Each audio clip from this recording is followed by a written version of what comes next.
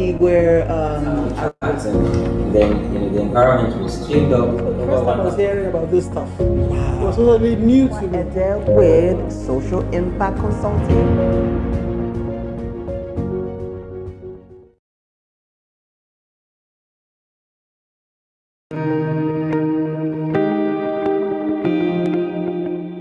Hello, everyone. My name is Efwa Elens Ede with Social Impact Consulting. I'm a development consultant with 20 years of experience working with NGOs, international NGOs, and bilateral agencies to work in project support, monitoring and evaluation, and civil society strengthening. So now, I saw that local NGOs lack the capacity to manage large scale projects, which can in turn impact their various communities because they have the connection based on their backgrounds. So this made me create this channel so that I can add value to you for free once you subscribe to this channel and get notified of upcoming videos. I look forward to hearing from you.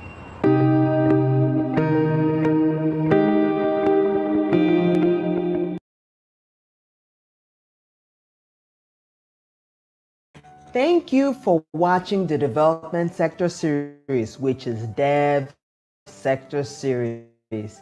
Are you interested in sponsoring Dev Sector Series? Please call me at 234 703 539 8086. As we spread your brand, we spread around the world. And as we do that, we're all changing the world. So let's work together. Contact me so that we can maximize social impact. I look forward to hearing from you. Hello, everyone. Thank you so much for showing up for this week's session of the Development Sector Series, which is Dev Sector Series. Okay, so make sure you like and share this broadcast so that we can reach more people, y'all. Let me know where you're watching from in the comments so that I can thank you personally. Follow and connect with me with on all my social media handles for future updates. And don't forget to subscribe to my YouTube channel, Social Impact Consulting, the channel with the big blue S. So if you have any questions about the discussion of this program, which is really exciting today, please include in the comments so that we can engage in a robust discussion. So today we are going to be having conversations on youth advocacy. And our guest today, Chioma Agwuegbo, is the executive director of TechHer NG, where she amplifies tech solutions to societal problems, especially affecting women and girls. She's a passionate development practitioner who has used technology in movement building across the country and has spoken around the world, provided support in campaigns such as Enough is Enough, Occupy Nigeria, Not Too Young to Run, and many others. So, we're going to be having a discussion today about youth advocacy. As you know, the, the largest and most rapid youth population in the world is in Africa. Okay, and we're going to be discussing the use of technology and citizen engagement amongst young people in our continent. So, guess what, guys? I am going to be going over her bio in just a few seconds. Stay tuned. Is the executive director at TechHer NG demystifying technology for women, and applying tech solutions towards societal problems, especially as they affect women. Whether it's chaperoning young first time women politicians, co creating solutions for sexual and gender based violence, or curating learning sessions on digital security and circumvention. Chioma believes that technology not applied is not useful. Chioma's foray into advocacy began in 2008 with the Light Up Nigeria movement. Since then, she has functioned in leadership teams for campaigns such as Enough is Enough, Gen Voices, Occupy Nigeria, Bring Back Our Girls, Not Too Young to Run, and now State of Emergency GBV. As a speaker, Chioma has graced podiums from The Hague to the House of Lords in London and across the African continent. In recognition of her work with women and politics, she was an inaugural speaker at the Global Women Leaders Forum in Iceland in November 2018. Chioma is an alumnus of the World Economic Forum's Global Shapers and served as the Deputy Curator and Communications Director of the Abuja Hub. She is an associate member of the Nigeria Leadership Initiative, a Commonwealth Associate Fellow, and a member of the British Red Cross and Mo Ibrahim Foundation Now Generation Network. She currently sits on the boards of Plan International Nigeria and Oxfam International. Chioma has a bachelor's degree in mass communication from Ebonyi State University and a master's degree in social media from the University of Birmingham. Allow me to introduce to some and present to others Chioma Agwuegbo, Executive Director, TechHer NG. Hello, hello, Chioma. Thank you so much for joining us. Thank you so much for having me. That almost doesn't sound like me. It sounds like, oh my God, who's that? yep, that's you. Thank you so much for joining us. I am so excited about this conversation that we're going to be having concerning youth advocacy because, lady, you are loaded in terms of, you know, strategy and creating these and mobilizing campaigns. And these are not small community campaigns. These are nationwide campaigns that have really affected lives across the country. Thank you so much for the work that you do. So, Thank you. Thank you so much for having me. It's very nice. Awesome, awesome, awesome. So now let me ask you something. Um, so what is the historical context of youth advocacy, especially in Nigeria and Africa? I think essentially, um, advocacy is typically born out of people feeling uncomfortable with the state of affairs, right? And I, and, and I like to just define it simply like this because a lot of times people feel like advocacy is a calling for some, or it is something that some people have a responsibility to do. Um, but if you look at it as I, Chioma I am unhappy with the fact that there are potholes on my street. And so I get the rest of the people on my street to write a letter to our local council representative to say, hey, what's going on with the potholes? They're very uncomfortable for us. We've had a couple accidents. What can you do about it? That's simply what advocacy is. Um, and, and so essentially it is when you then talk about young people, you start to look at the need for inclusive governance, the need for representation of the needs of young people. You also need to think about, you know, the the urgency to change the status quo on issues that affect young people. So again, looking at Nigeria, you think about what's the rate of unemployment, right? Who does it affect the most? And when EndSARS happened last year, it was also about you know young people. When Not Young to Run happened, you know, and culminated in the president signing the bill into law in 2018, it was also about you know young people state of emergency gbv is also about how do we you know pro, um, how do we get the government to act urgently around sexual and gender-based violence. So it's it's always around what are you trying to change? And then of course it can be youth advocacy it can be women advocacy it can be advocacy for babies for instance the calls to end fgm child marriage all of those types of things. But essentially the underlying factor is how do we change the status quo Interesting. Yeah. That is that is really something that you say that because you know you just explained how it can be affected uh, in in even small communities. You know, mm-hmm. in terms of how can you be a youth advocate. So mm-hmm. now, um, so now, how has the youth movement affected policy development in Nigeria? Oh, that's a big that's a big question and one that's like um super interesting um, in a lot of ways. I mean, I started talking about not too young to run, you know, um, with the former question and led to a bill, a constitution amendment bill, you know, um, that then, of course, gave birth to inclusion for young people, expanding the pool of candidacy so that young people can run for office, you know, ended up changing some of the age, um, the age limits for people to run for office. So, you know, really big change there. Constitution amendment, one of the most successful uh, movements and advocacy causes in, in decades in Nigeria. Um, you also think about state of emergency, which we started last year. At the time, we started pushing for states to, you know, domesticate um, the Violence Against Persons Prohibition Act. Um, there were about 15 states that had done it at the time. Now we're up to 23, and that nice. conversation is ongoing. Um, Bring Back Our Girls of 2014. The call was to ensure that the girls that were kidnapped from Chibok were brought back. And I think it's important to state here that in, in, in deciding to undertake advocacy, you really have to think about what is the answer that I'm going for. And it's also important to realize that sometimes you might not get the exact answer you're going for, but you learn lessons. For instance, we don't have all the girls back. But mm-hmm. what Bring Back Our Girls managed to do was it started a very serious conversation on the state of security in Nigeria. It exposed people to, you know, government spending on security. It also challenged people to become very involved in questioning, you know, the government and holding people to account. Um, you also have to think about Occupy Nigeria. That had to do with former President Goodluck Jonathan, you know, unilaterally, like almost unilaterally increasing the price of fuel in 2012.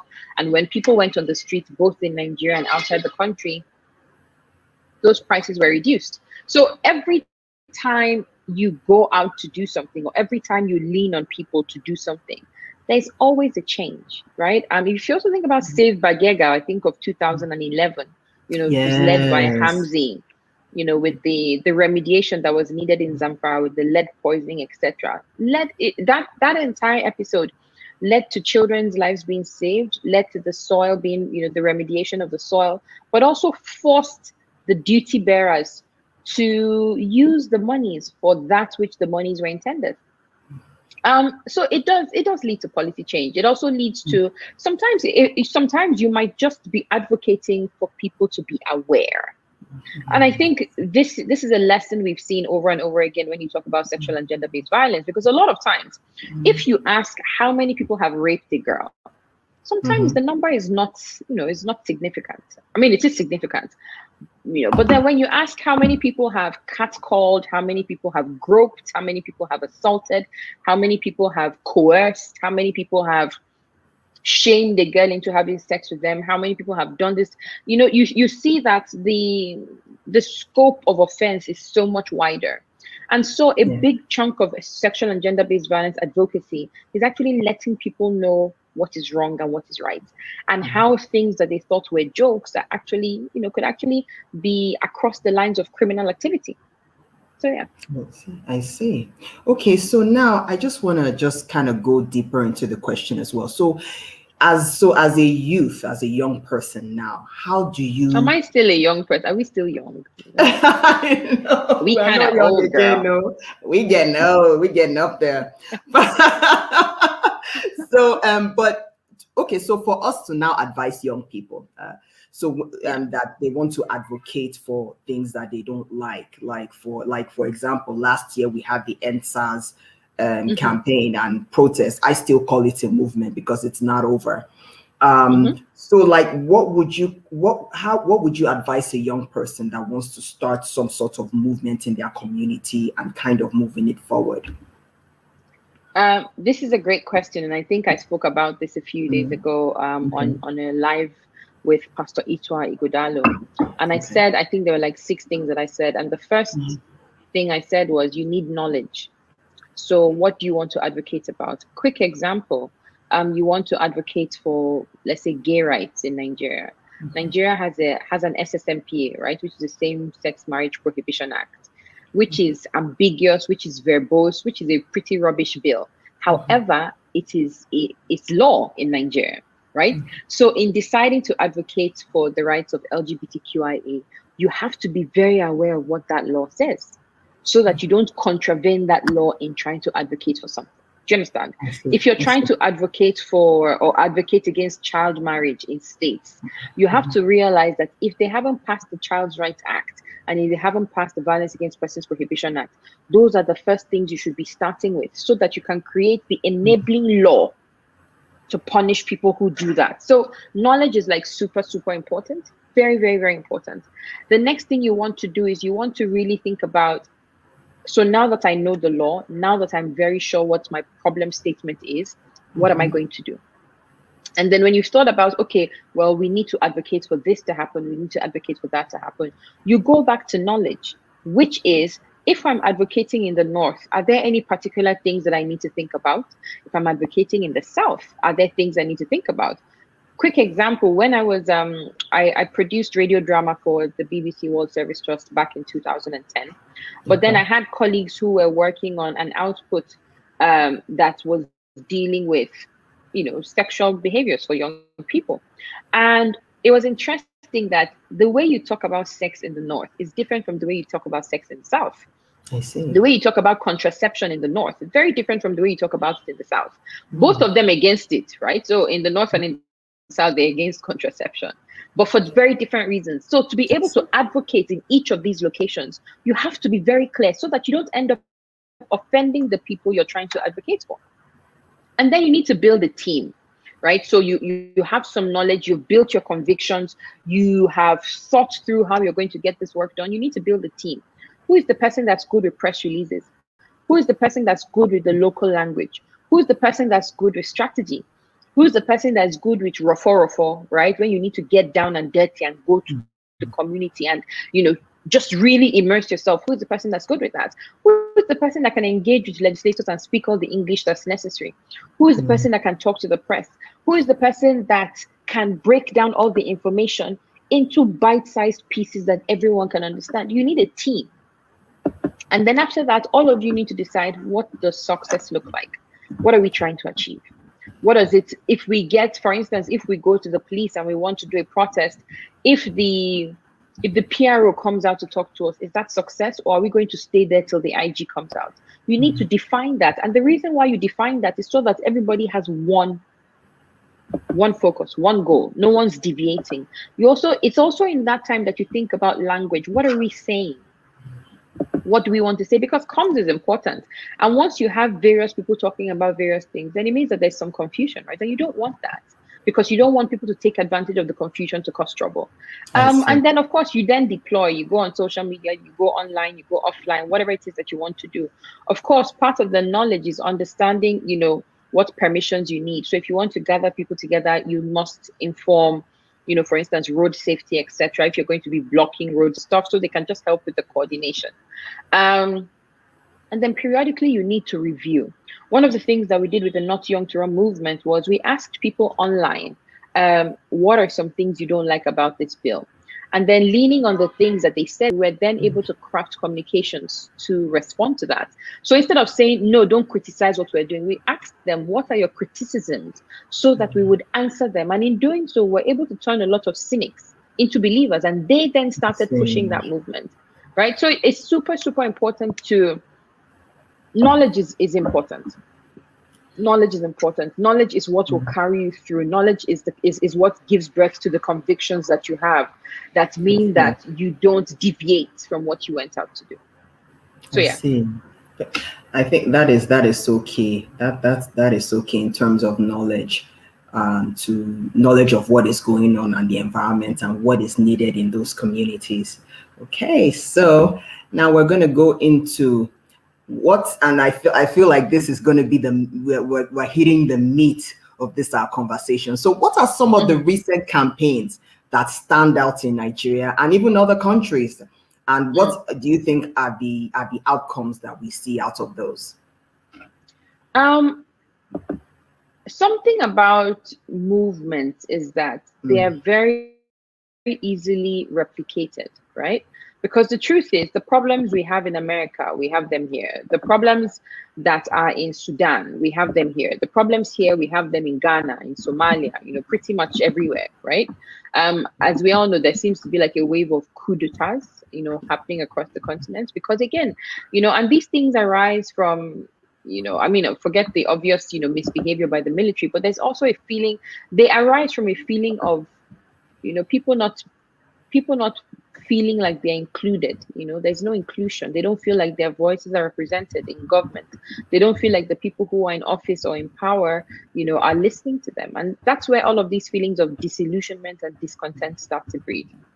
Mm-hmm. So, what are some of the most popular? If you look at the Me Too movement in America, right, that kind of mm-hmm. jumped out from there and started spreading, it led to yes. Arewa Me Too in Nigeria. It led to North Normal in Nigeria, right? Um, uh, founded and co-founded by Fakria, um, Hashim, Hassana Maina, you know, Farida Damu, those, you know, really, really courageous ladies. So, so there was that. Um, you also have Not Too Young to Run, which also, you know, gave birth to a few countries on the continent with young people saying, you know what, we are the largest demographic. We deserve to have a say in how we are governed. Um, there's also, you know, South Africa had Fees Must Fall. Uh, we also had Women's March. And I think, again, the Women's March that has happened, I think now in Senegal, in Nigeria, in Zambia. Zambia was the most recent.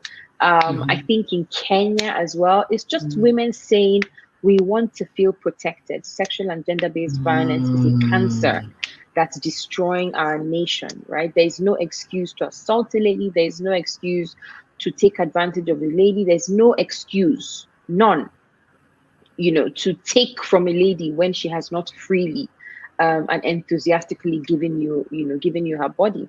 And one thing I like about movements and campaigns is that each one strengthens the next one. So, like I like to say, um, RSVP and Light Up Nigeria of 2008 meant that our voices were strong enough for Enough is Enough Nigeria in 2009.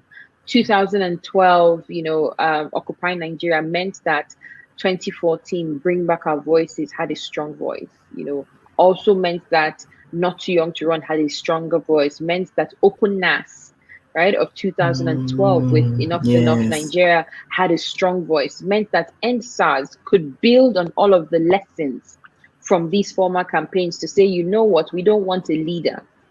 We don't want one person that will bear the brunt of, of, of this movement. We want to be, mm-hmm. you know, we want to be rudderless. We want to be, you know, independent in our thinking. We also want to be, um, we want to be fluid you know and i think one of the beautiful things about EndSARS was it was so agile it's like it should be a, a master class in you know in in agile project management because as the government was throwing up you know whatever it was throwing up hindrances mm-hmm. barriers curveballs the movement was adapting across the country you know if if it rains how do we get umbrellas or raincoats across the country if people get arrested how do we raise a team of lawyers to be able to respond if people get beaten, they get thrown in hospital, how do we create a network of medical personnel who can check on these people? Blah blah blah. It was it was beautiful, and each movement gives rise to the next. And this is why I, I keep saying that you know governments need to become as responsive as possible because this generation they're not here to play.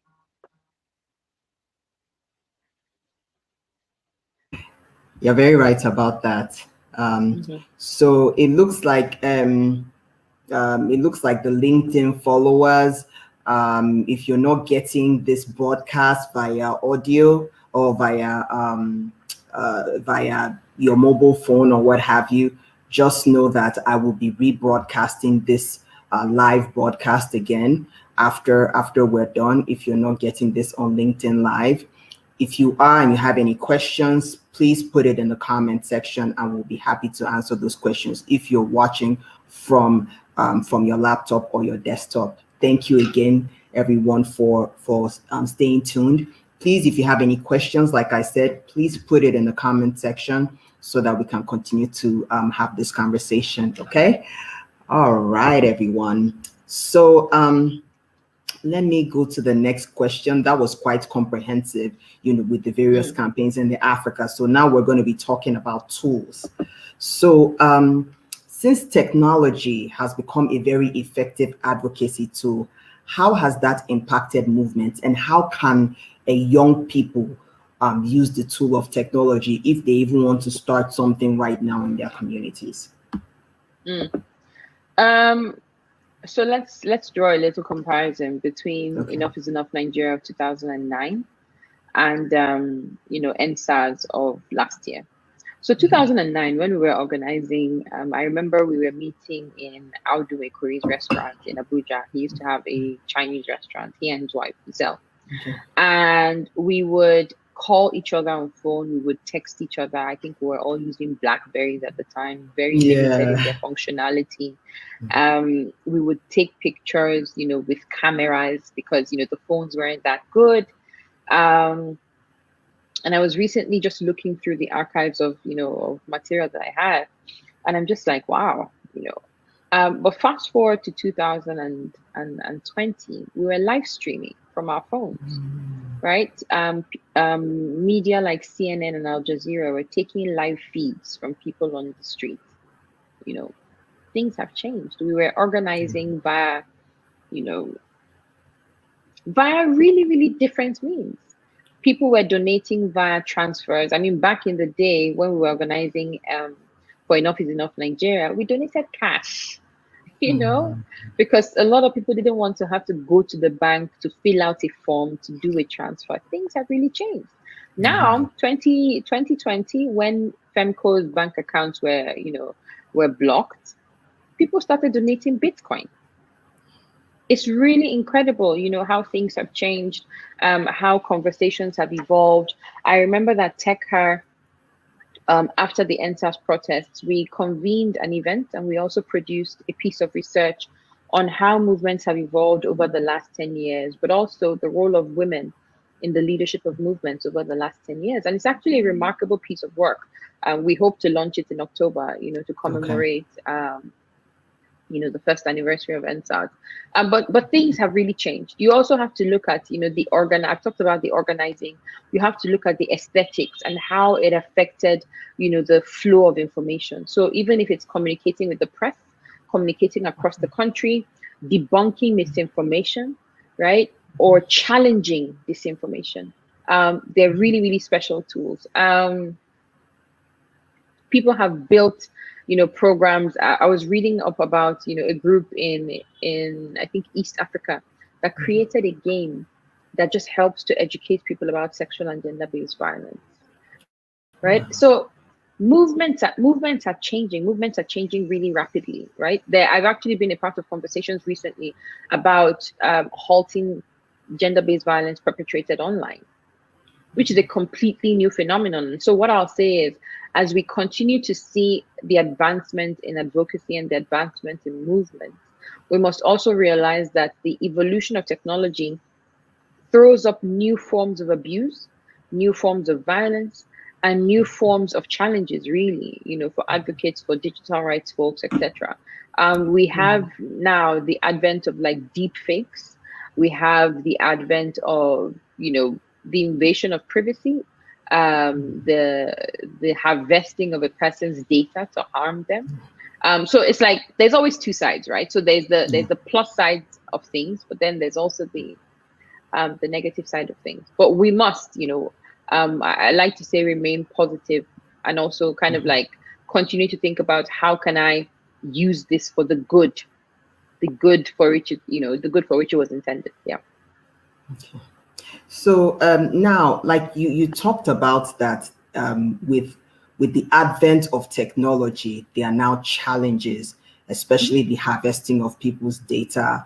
Um, and and um, um, I think I listened to your presentation um, a few months, I think it was sometime last year or early this year, where you have now online troll farms uh, and, and, and various things that are out there to um, dissuade activists. Can you talk a bit more about that? So we've talked about the advantages. Let's talk about some of the challenges that activists have to face due to technology. Um, so digital rights activists, and to, to be to be fair, like really anyone, right? Mhm. Um, like I, I, I like to say that technology is like a knife. You can peel an orange, right? Mhm. Or you can stab a person. It's it just depends on who's wielding the technology. Um, and it's just like they say, oh, this person is a mean person online. It just means that they're a mean person offline because it is who you are that is channeled, you know, um, via the platforms that you that you use. Um, and and so yes, with the with the challenges that people might face online, um, troll farming is is a really big thing to be honest because you can you can you can force disinformation just by having a good number of people saying the Mhm. same thing at the same time Mhm. you can also create you know um, you can also create pockets of how do I explain? Mm. For instance, you have you have a troll farm, right? You mm-hmm. have paid a number of people, and unfortunately, mm-hmm. Nigeria is so poor that it is so mm-hmm. incredibly easy to weaponize that poverty and have like a bunch of young mm. people, young men, young women, who, if anybody says something bad about Chioma, they attack the person. What they're saying mm. about Chioma could be true, but these people just attack and attack and attack, and over time, you create mm. a an atmosphere of fear because nobody wants mm. to be mm. attacked. Nobody wants anyone digging into their lives and bringing out things mm-hmm. about them online.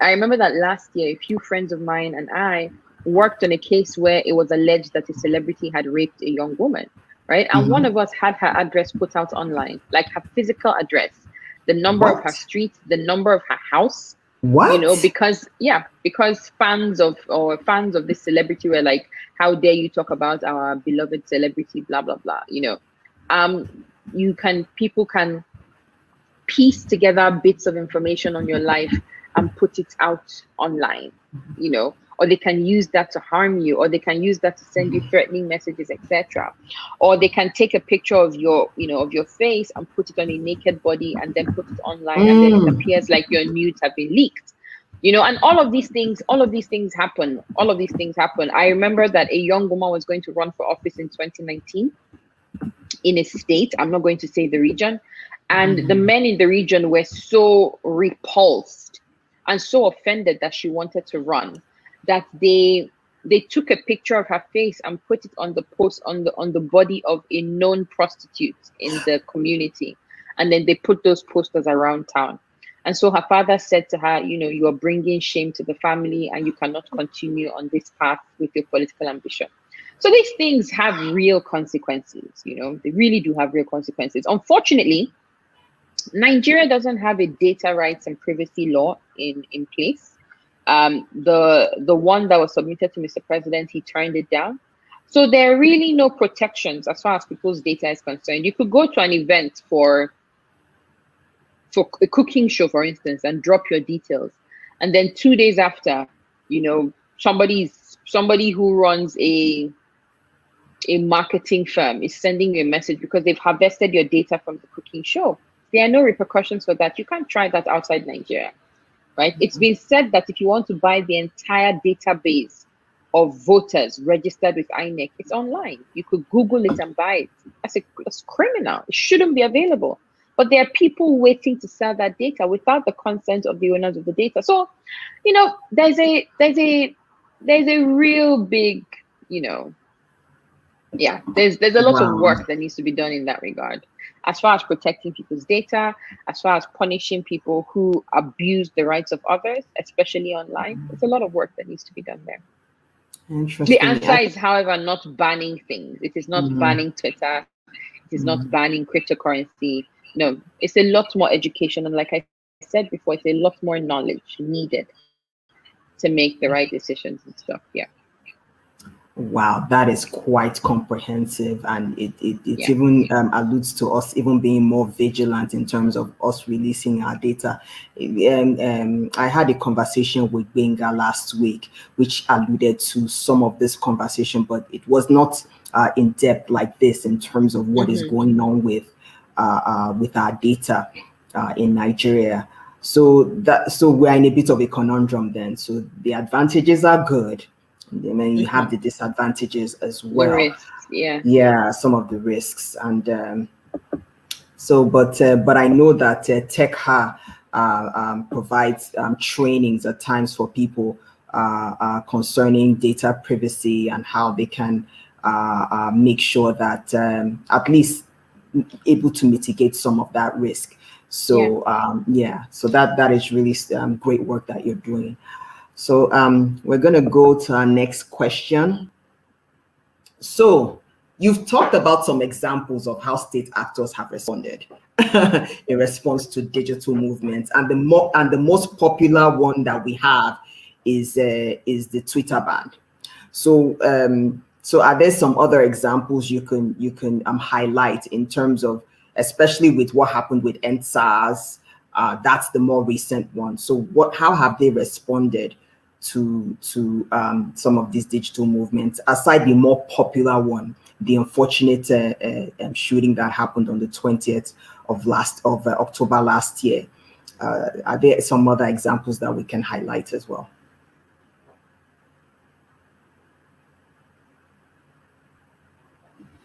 Oh, all right. Yeah, mute.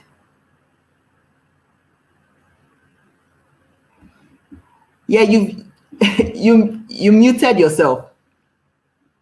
Unmute. ah, can you hear me now?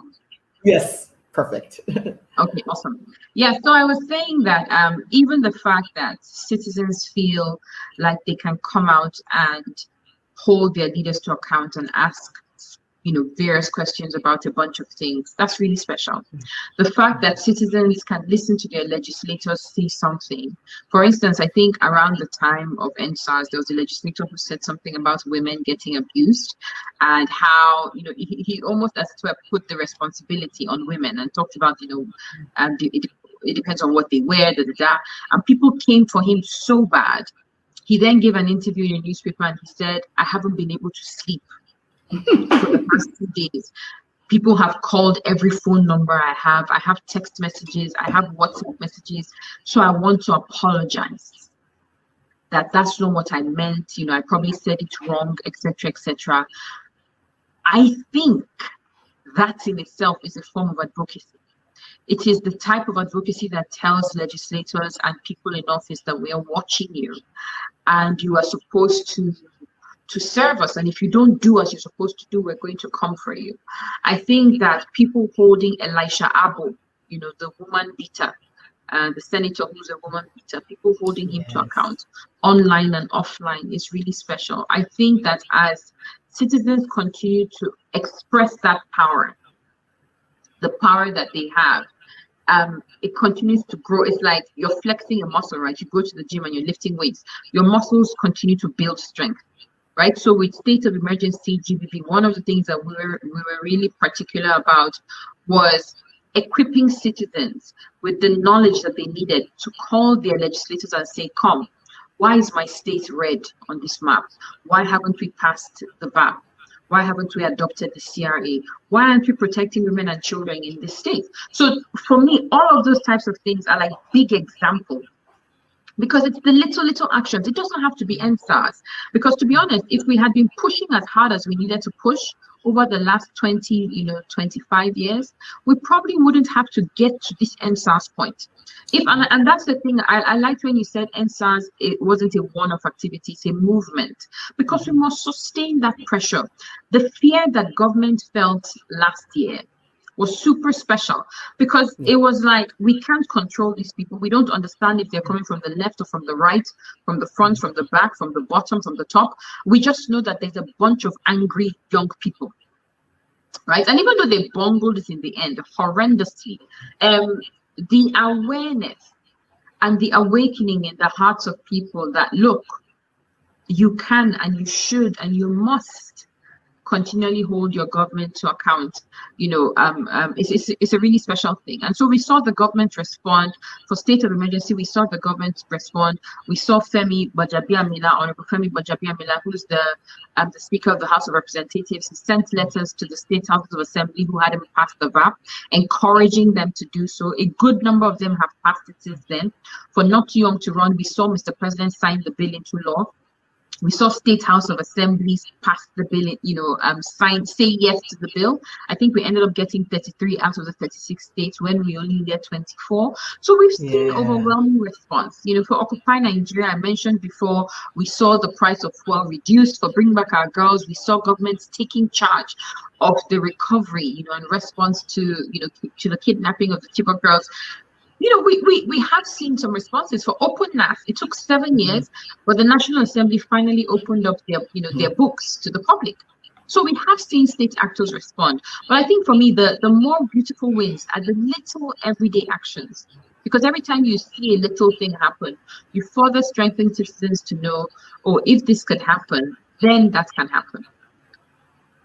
Interesting. Um, um, um, thanks for for even answering the question from both sides mm-hmm. in terms of the positive, what this has positively done in our democracy, um, which is which is really interesting, and and those are some great examples. Now we're going to now discuss about the shrinking civic space. Hmm. Okay, we, that's a that has been a huge matter of discourse over the past uh, past couple of years now, especially um, after EndSARS, during and after EndSARS. So how has this affected youth advocacy and what are what steps can we take as citizens to keep the civic space open? Hmm. So how has it affected youth advocacy? I think we should start mm. by you know de defining what the what the civic space is, you know, and then of course going to how it has shrunk. I think civic spaces simply, very simply refer to spaces where citizens can speak, can raise their voices, can talk about things that affect them, can, you know, ask questions, can hold leaders accountable, can complain about things that they don't like, can offer solutions to government, to the government that they elected to represent them. You know, that's that's what your civic space is really. It's a space where citizens feel like their voices count, their voices matter, and issues that they have will be dealt with swiftly, you know, by by the government of the day. Now, how have civic spaces in Nigeria shrunken over the past few years? First of all, the government has, and it's not just this government, it's the one before them as well, has invested very heavily in surveillance equipment, right? Um, so we have patronized circles, um, we have patronized all sorts of people spending, you know, really ridiculous sums of money on, on surveillance. Um, we have enacted, you know, horrendous policies for instance, um, NIN, even look at NIN, right? Why do you need people's data when you don't have a Data Privacy Act that protects the use yes. of that data, that protects the storage, and the utility of that data? Um, recently, the, I think it was NCC that said they were going to require citizens to give them the IMEI numbers of their phones, which means that you not only want to be able to track what I'm using the phone to do, you want to be able to tell the precise location of devices. Why? For what reason? You know, we've seen the National Broadcasting Commission come up with policies for broadcasters. You know, we've seen the verbose and really ambiguous clauses like anything that embarrasses the government. Who decides that? Exactly. Who decides embarrasses the government, right? Exactly. We've seen sanctions, you know, wielded very freely against broadcasters. We've seen, you know, arrests governors have become increasingly brazen in arresting people who they feel have embarrassed them or people who have made them look bad. Um, so yes, the shift, the, the, the, the space is, is shrunken, right? And it continues to shrink as, as the day goes. And what that means is people become afraid. I think I talked about, you know, the the pervasiveness of the fear that people feel in Nigeria. People have been disappeared and we've never seen or heard from them again. Right. So so so and that fear is terrible because it means that if somebody wants to speak up about something they're they're also thinking oh what could happen to me for speaking up? Exactly. i know how thought about things you know that we need to say and it's just like what's the safest way to put this out? You know what are the precautions to take in putting this out? There are real consequences right? There were women who served food at the EndSARS protests who had their bank bank accounts locked there were people who donated who had their bank accounts frozen. You know, there were people whose passports were seized. There were people who were arrested from their homes because they were tweeting, even after the protests were done. And what that does is that it makes people afraid, right? Um, and, and I think people I think oftentimes people miss the fact that if you are handed a conviction in court, you know, you are you have a conviction and that stays with you for the rest of your life. So these types of things just make people afraid. There have been policies, you know, intended to, as it were, whittle the power of civil society or yes. kind of like whip civil society into in, in line. So you tell them that, you know, I mean, we've seen the the failed NGO bill, the failed social media bill, you know, and all of those types of things. We've seen the, you know, at some point during pan- during the pandemic, they wanted to have the infectious diseases bill, which in addition to being, you know, um, about infections, infectious diseases, had clauses that were just going to grant like unilateral powers to, you know, it's like, um, yeah, So what can we do? Moving away from all of that, what can we do? Mm-hmm. I think the louder our voices are together, the safer we all will be. Mm. And I keep talking about spreading risk. So if I, Chioma, for instance, send an FOI request to a government agency, they can decide to rough handle me or whatever. But if 20 of us send it, how many of us do you want to arrest? Exactly. If 20 organizations sign a letter, that's why I like civil society and you know the the joint signatories on on communication to government, you know, um, and the endorsement by a lot of organizations. Because which ones do you want to arrest? Which ones do you want to punish? You know, I think it also behoves civil society organizations to ensure that all of their documentation is intact. Exactly, yes. So that literally, when you're coming to equity, you're coming with clean hands and you're coming with yes, hands that yes, yes. be, you know, cannot be questioned or whatever. But yeah, ultimately, I think our voices together is a really, really powerful thing. Yeah, that is that is so true in terms of making sure that we're able to spread the risk. In fact, I released a uh, a YouTube video um, which talked about um, nonprofit compliance and talking about the civic space that if you're going to be um, and be out there and be a pressure group, you have to have clean hands because they will, you know, that there's a chance that they will come after you so that everything is, is where it needs to be. Um, this is, is really something, but like you said, once we're able to spread the risk and come together, um, then that way you know you can't arrest everybody. You know you can't harass everybody. So uh, that that is that is really something. So i'm gonna go to our next question. Now um so after this question we're gonna have um, questions from the audience so start flooding in your questions okay because this is the last question after um, before the questions start flooding in so um, we're now looking to the future so what do you think the future of youth what do you think is the future of youth advocacy and how does it affect the future of Nigeria and sub-Saharan Africa? You alluded to some campaigns in some other countries, so maybe kind of giving us a sense of what our future looks like. I think we will keep learning. You know, um, I think that this generation, the one before it, the one to come, they will keep learning from the mistakes. They will keep learning from the successes um, and they will keep learning from the strategies that have been employed for the you know movements before them um, and it can only get better what i would really like to see though is us moving from um, let's say 90% advocacy and 10% uh, government action to like 50% government action and 50% advocacy and by that i mean it would be great to see an increased number of government folk from within advocacy circles, right? Um, I, I, think that I think that that would be really special. Um, I also I also hope that as we continue to go along, we can reverse some of the policies that are you know anti-people. For instance, the SSMPA. It's not a useful, you know, it's, it's not useful. It was a political bill which has no, you know, which should have no place in our constitution right? Also, the Cyber Crimes Act, for instance, is a very heavy-handed, you know, again, ambiguous piece of legislation, um, which I think should be redone.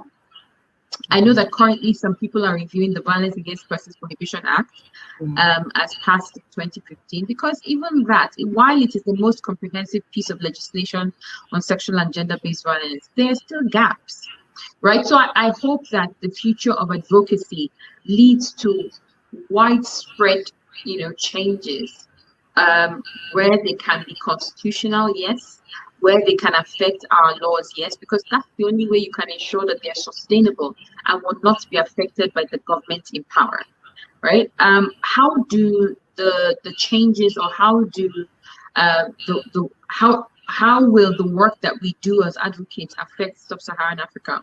Nigeria, as we know, is the giant of Africa, right? As far as I'm concerned, only in size at the moment. Mm. But the truth is that whatever we do in Nigeria has widespread effects on, on countries around us, on the rest of the continent. And so I think that as we continue to like lift our voices and speak about things that matter to us, we encourage young people across the continent to also do the same. One thing I like to do on social media is when I see women, you know, across the continent really advocating about sexual and gender-based violence, I amplify it using my social media so that they get more coverage, so that their voices are even louder. And I think that's a role that you know Nigeria can play as far as advocacy is concerned. We can advo- we can strengthen the voices of others. You know, we can support the advocacy. Yeah. Mm, that, that's really something. Remember what happened in uh, uh, Uganda uh, when there was, um, you know, they were really rough handling um, the opposition, Bobby Wine and Yes, everything. I like I like the way Yeah. we handled um, the way you know we activists handle that that uh, campaign. Mhm. So I think more of that, and I think that is what uh, a technology has really done for us. It has really made Africa more holistic and uh, uh, whole as looking at each other as their brother's keeper.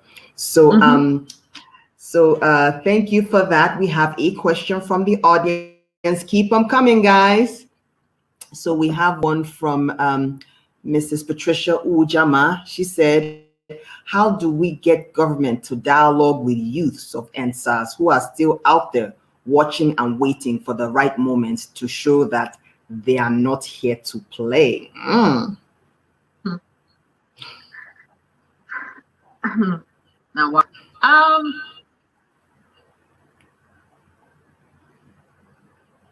Like I said earlier, I think that the government missed a really, really big opportunity within EndSARS to build faith with young people, to build legitimacy with young people, but also to show itself as a government that truly cares.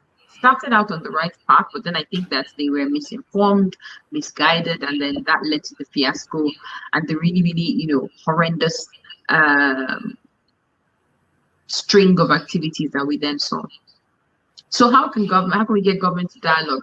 I think that this first anniversary of EndSARS provides a unique opportunity for citizens to press, you know, whether it's asking questions via local media, whether it's asking questions via social media, whether it is writing letters to their legislators, whether it is publishing articles, you know, there are so many opportunities for us to continue to lean into this thing because the truth is from the time of EndSARS, there have still been people killed by the police. I read um I read an article recently of an actress who was coming home from you know somewhere and the police shot her in the shoulder. You know, I think because she said maybe they were calling her, she didn't respond or something. The person just pointed at her and shot. Yeah. And and so it's the you know we, we talk about people being trigger happy you know but there's also the there's also a lack of consequences Mhm. right? So people just do as they want because they know nothing's going to happen. So i think you know continuously engaging governments via you know writing letters engaging them so on social media um is, is really critical to ensure that the momentum from EndSARS isn't lost. But also like she said you know that we we continue to show government that look we're not here to play. And this is something that not only affects us it concerns our lives really Yeah. you know Yeah, that that that is really that is really something. Uh, um, that's a really really uh, good answer because we, it, in terms of what's what's the way forward, and we need to kind of keep things going. Um, I, I uh, had a conversation with Dr. Kole Shettima on on this platform, and there was something he said. He said that um, that the media organizations, social media, or whether it's uh, TV, radio, or print, they bring out the breaking news, but it's up to advocacy organizations and citizens to just kind of keep the story going and not let it die.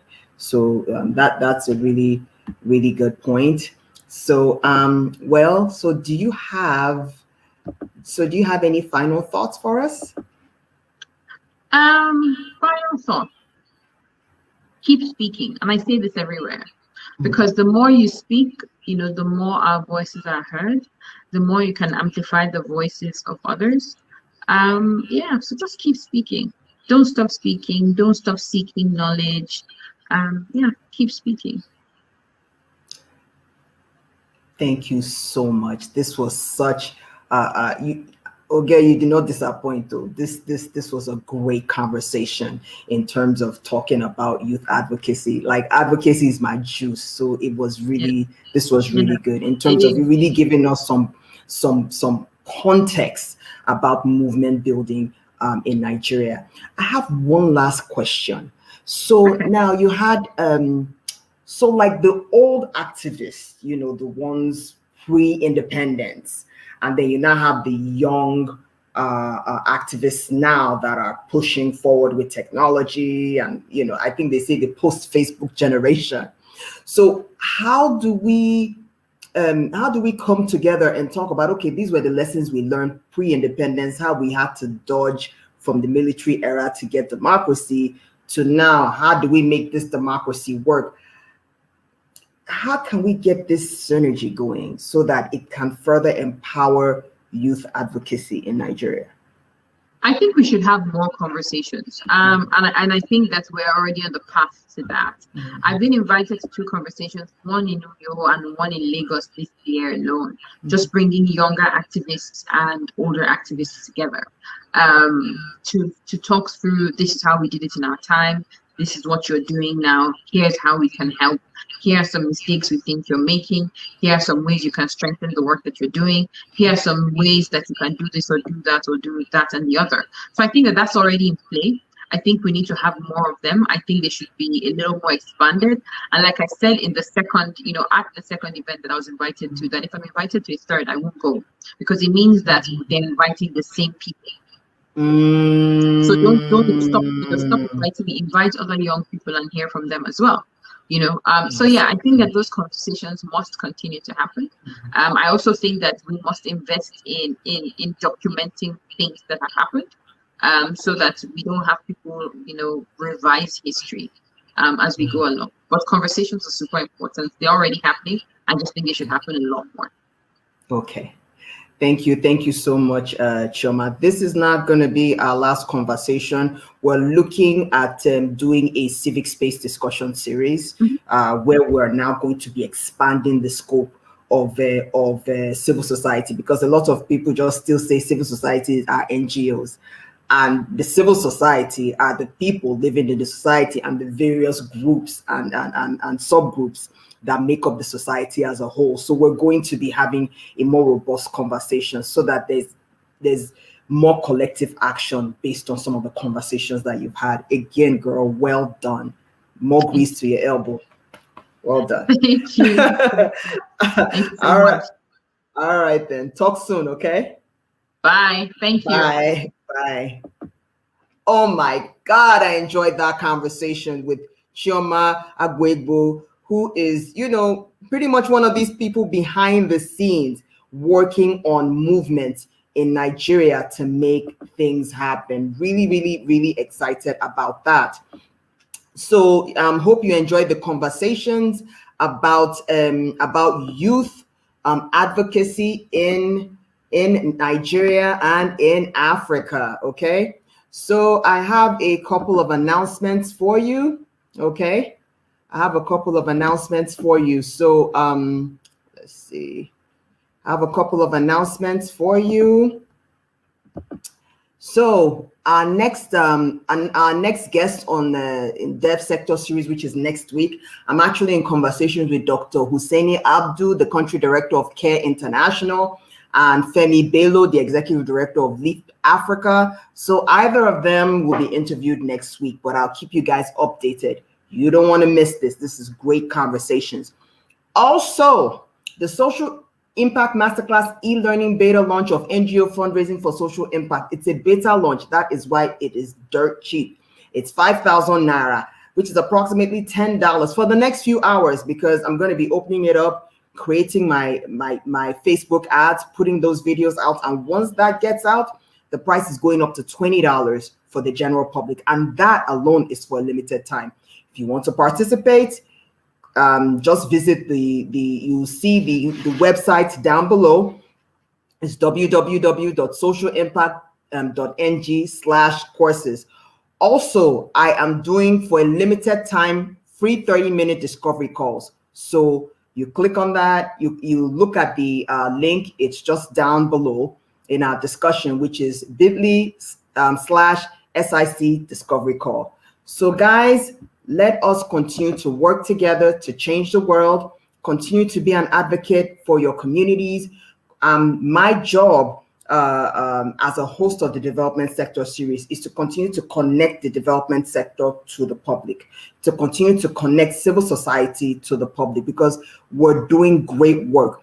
The only thing that is um, um, keeping Africa and Nigeria afloat and has not turned into a complete failed state, you know, has not um, turned into an anarchy like places like Afghanistan, no offense, and, um, you know, my heart goes out to the people, is because of civil society. So we need to stay connected and we need to know what is happening and we need to continue to do what we need to do to change the world.